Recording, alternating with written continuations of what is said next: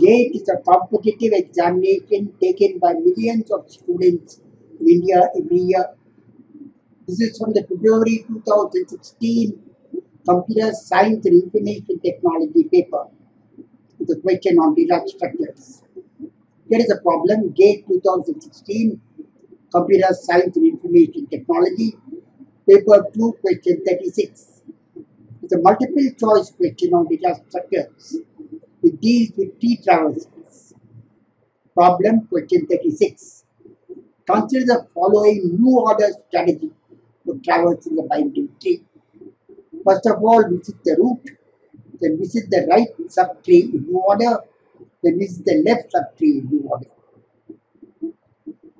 The new order traversal of the expression tree corresponding to the reverse Polish relation, this one, which one?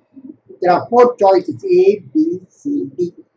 It's a multiple choice question. The examiner guarantees one answer is correct, three answers are wrong. If you can guess the correct answer, then what is left is the wrong answer. Or if you guess the wrong answer, what is left is the correct answer. Let us. We can take for granted three answers are wrong and one answer alone is correct. Here is a post expression. Let us concentrate on the leaves of a tree that led to this postfix expression. Let us say 3, 4 star. We must have a tree like this star 3, 4. In the new order traversal, we must first of all have 4 star 3. Left leaf is 3, right leaf is 4, root is star. We must have star 4, 3 in the answer. If I examine the various choices, star 4, 3 occurs only in C. It does not occur in B or in D or in A. So nowhere else. So by elimination, C must be the answer. Choice C is the answer. Examiner ensures all the rest are wrong.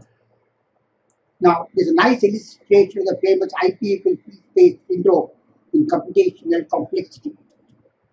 So we can take the entire tree over here. Here is the tree. Build the tree from the first expression and traverse it.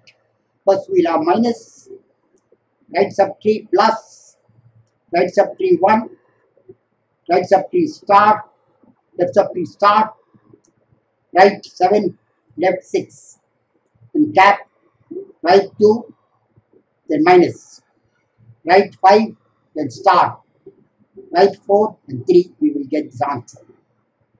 So the answer is choice C. Of the presentation. Thank you very much for your time.